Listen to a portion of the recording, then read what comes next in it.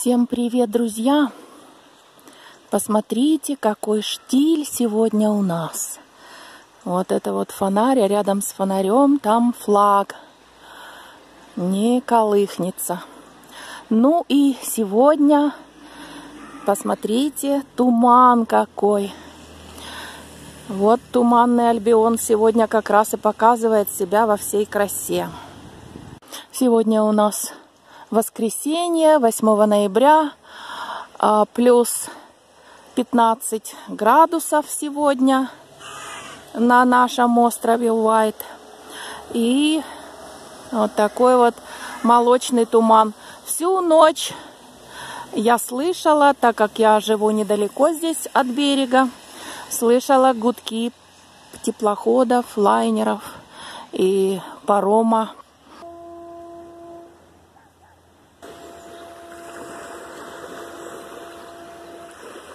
Вот слышите, как гудят. Так вот, вы знаете, сегодня мы разговаривали со с моей знакомой, и что-то разговор у нас зашел про Красный Крест. Ну, вы же знаете, что сейчас все только и говорят о заболевших, о этом вирусе несчастном. Так вот, я вспомнила историю про Красный Крест. Как меня разыскивал Красный Крест и вообще как это было что случилось и почему меня через Красный Крест разыскивали. Вот сейчас вам попробую рассказать. Это тоже довольно-таки интересная история. И, наверное, будет еще один скелет из моего шкафа. Это случилось, когда я активно уже сидела в интернете, на сайтах знакомств, начинала искать каких-то э, иностранных мужчин. Ну и Конечно же, тогда, это было более 15 лет назад, мне тогда еще не было и 50. А сейчас покажу вам фотографию, как, как я тогда выглядела. Здесь мне 45 лет. А, фотографии не очень удачные, но вот именно такие я и размещала. Здесь мне уже 47.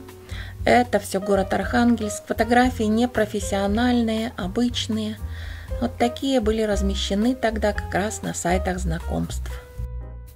Ну и э, было у меня тогда много писем, и много кто хотел со мной познакомиться. И вот, в частности, я тогда познакомилась с мужчиной, которого звали Чарльз. Я уже не помню его фамилию, он мне и фамилию свою написал сразу, и фотографии кучу прислал. В общем, такой сразу очень активный мужчина. Он сказал, что он в настоящее время э, живет в Штатах, но он урожденный англичанин, и мать у него живет в Лондоне, а он хочет сейчас найти женщину, переехать куда-то в Европу и найти, купить вместе Сейчас дом. выглядят кофе, э, кофейни, то есть. Вот видите, open for takeaway, только лишь с собой. Вот в той двери заказываете, а в этой двери получаете. Я не люблю takeaway, но вот пришлось взять. При том, что здесь еще надо сейчас сахар положить. Так вот, про Красный Крест и про Чарльза. Продолжу вам свой рассказ. А, Чарльз, когда мы стали с ним переписываться, и я стала посылать ему все больше и больше своих фотографий, он увлекался все больше, я это замечала. И, в общем, уже он попросил, чтобы мы с ним разговаривали по скайпу, даже немного, один раз всего лишь навсего мы с ним вышли в скайп, э, потому что он не верил, что не может быть, что я такая красавица, и я одинокая. Ну, человек не верил, думал, что это не моя фотография, и поэтому мне пришлось показать себя ему в скайпе. Тогда разговаривать я не могла вообще по-английски. И, конечно же, там только чуть-чуть, немножко мы пообщались. Но он был удовлетворен тем, что он увидел, и он стал настаивать на встрече. Я тогда еще ничего абсолютно не знала, как лучше организовывать эти встречи, где. Я жила тогда еще в Архангельске. Ну и а, он сказал, что обязательно мы встретимся. Он сказал, что будет лучше. Я по работе, сказал он, передвигаюсь очень много, бываю в разных европейских странах. И вот сейчас был как раз на, на дворе уже конец августа. Он сказал, что сейчас будет лучше, если мы на сентябрь, на где-то на две недели возьмем вот такой вот круиз. Я сниму гостиницы, мы проедем по испанскому побережью, мне очень нравится. Потом заедем в Португалию, в Лиссабон. Я тебе там тоже покажу красивые места. Но он тогда еще перечислял вот эти вот испанские курорты. Коста-Браво, Коста-дель-Соль, как сейчас помню. Еще какие-то. И для меня, вы знаете, тогда это было просто, ну, как будто какая-то абсолютно другая планета. И вообще это не обо мне. Ну, то есть, понимаете, Испания, Португалия, Лиссабон, Коста-Браво, Коста-дель-Соль, побережье Средиземного моря, где это все, это только в мечтах. И я э, из Архангельска. И я никогда не бывала ни в каких европейских странах, боже мой, никогда ни в каких. Я тогда на тот момент, по-моему, пару раз выезжала в Турцию и пару раз выезжала в Египет. Ну, наверное, так же, как все наши на тот момент э, люди. Не знаю, может быть, и не все, но вот у меня была вот такая вот жизнь. И в основном-то я ездила всегда только в лучшем случае э, в Ялту, в Сочи, в Туапсе. Иногда я буду отвлекаться, друзья, как всегда. Я показываю вам цветы запоздалые, осенние, на фоне осенней листвы. А вот здесь очень красивый парк. А посмотрите, он лиственный и красиво желтеет листва. А, просто как иногда на полотнах художников. Но, ну, друзья, не могу не остановиться и не показать вам это. Я, когда начинала вести свой канал, очень часто гуляла по вот этой аллее. И те, кто смотрит давно мои видео, возможно, помнят такие прогулки. Я э, удивляюсь количеству сегодня людей здесь. И надеюсь, что вам также интересно посмотреть на публику английскую не всегда можно увидеть столько много англичан. А вот тоже интересная такая штука. Это две совы и белка. А, из дерева сделана такая, как сказать, композиция, да. Она здесь стоит давным-давно. Вот что-то, что-то мне подсказывает, что эта абстракция не всем нравится, но хотя бы такое. А я практически допила свой кофе. Вы помните, я купила кофе Takeaway. Сейчас допью уже до конца и продолжу с вами свой рассказ.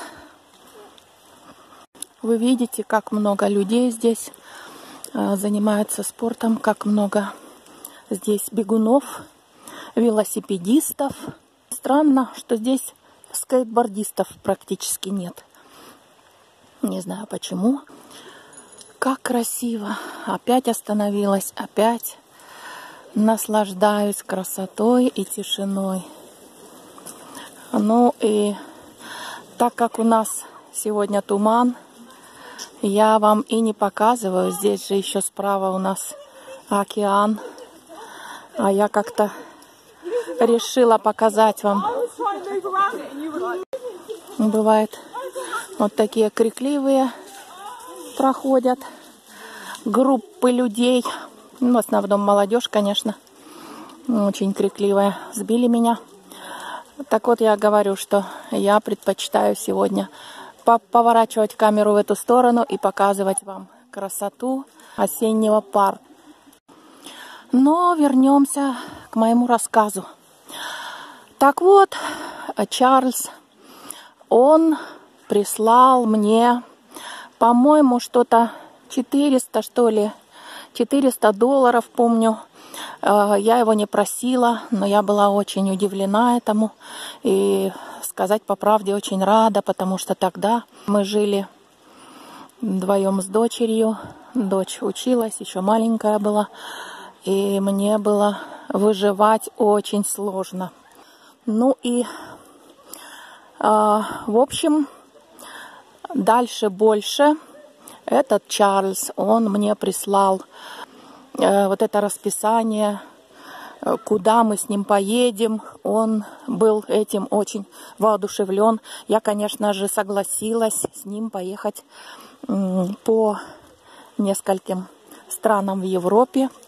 А, но я сказала, что если ты будешь снимать отель, то, конечно же, мы будем жить в раздельных комнатах. Он Э, согласился сразу, без проблем. Очень отвлекают меня. Может быть, конечно, на удивление. Много здесь сегодня у нас гуляет людей, как я уже сказала. И интересно вам посмотреть, но я отвлекаюсь. Вот.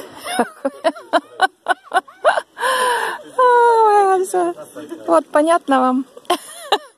Как я уже говорю, дети, они везде дети. Нашел ребенок лужу, тот же прыгнул. И меня даже обрызгал. Класс. Расписывал, как все это получится и что будет, и как мы встретимся. Он мне прислал план всех наших передвижений. Он также мне сказал, что я купил уже билет на твое имя до Мадрида, по-моему, был билет. И, значит, ты можешь приехать в Москву, в Шереметьево, вот, в начале сентября, там дата была указана. Ну, в общем, он все-все-все расписал, я уже точно не помню, когда это было, помню только, что в сентябре. И, значит, вот, э, ты садишься, а, ты подходишь со своим паспортом, там уже находят твое, твой билет для тебя, и мы встречаемся. Я тебя встречаю в Мадриде. И дальше я арендую автомобиль а с открытым верхом, потому что здесь очень тепло. И мы с тобой поедем путешествовать, останавливаться на одну ночь в каждом отеле на побережье. Проедем по всему побережью испанскому Средиземного моря. Я, в принципе, была согласна, вы знаете, с ним встретиться. Все нормально, почему бы и нет. Вот, тем более, что я же говорю, что я этого ничего никогда не видела. Ну и вот, а, мы так переписывались, продолжали переписываться с этим Чарльзом. Он мне рассказал, что у него живет мама в Лондоне, у нее там очень хорошая квартира, и он там жил. Это их такой семейный дом.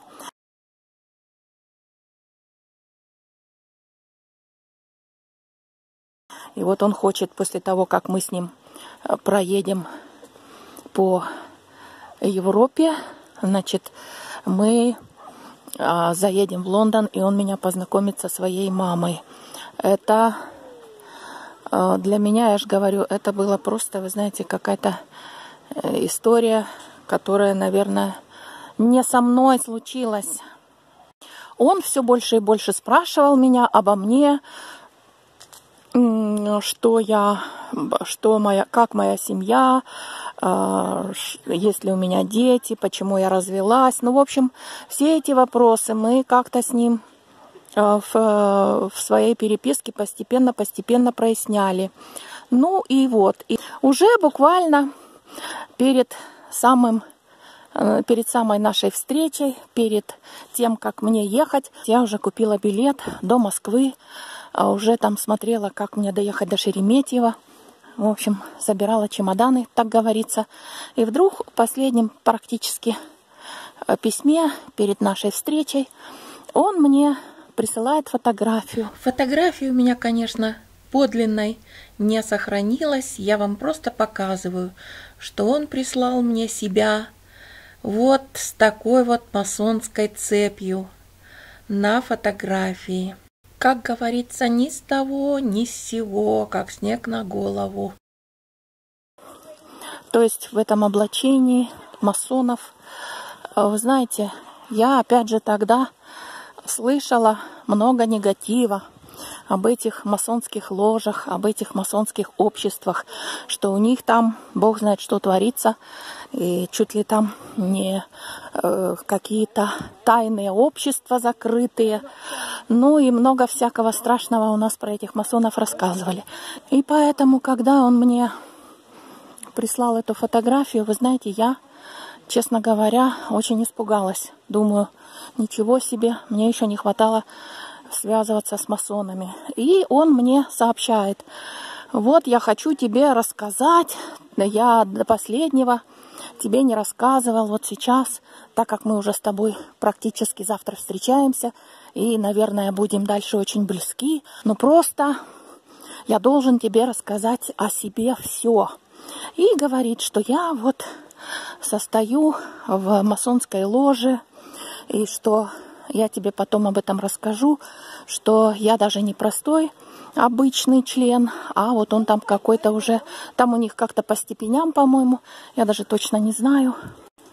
Посмотрите, как собака прыгает высоко, бесподобно. Опа, по-моему, это собака из этого. Вот и супер. О! По-моему, эта собака, она в маске снималась. Как она называется? Терьер или как? Вот эта порода собак. Ну и в общем, когда я вот это услышала, я-то, в общем-то, тогда, я же говорю, мало, э, я тогда мало что знала вообще об этих масонах.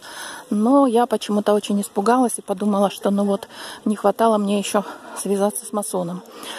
Вот. И как-то сразу я приуныла, и я поняла, что это история не моя, и что я, конечно, не буду с ним встречаться.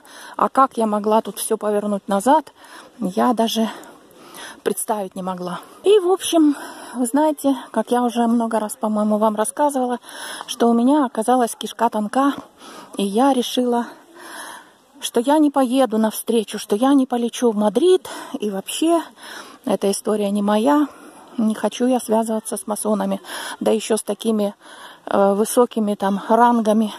А, он мне еще сказал, что он мне потом расскажет, что вот именно он занимается вот этой вот деятельностью сейчас. Именно, э, что ему масонская ложа платит деньги, что именно вот с этими вот какими-то заданиями от масонской ложи он ездит по всей Европе. И вот в Америке он тоже был в связи с вот этими вот масонами и получает от них а, хорошие деньги за свою вот эту вот работу какую-то. Уж какую, я не знаю, друзья. Но я тогда, еще раз говорю, я была очень сильно напугана.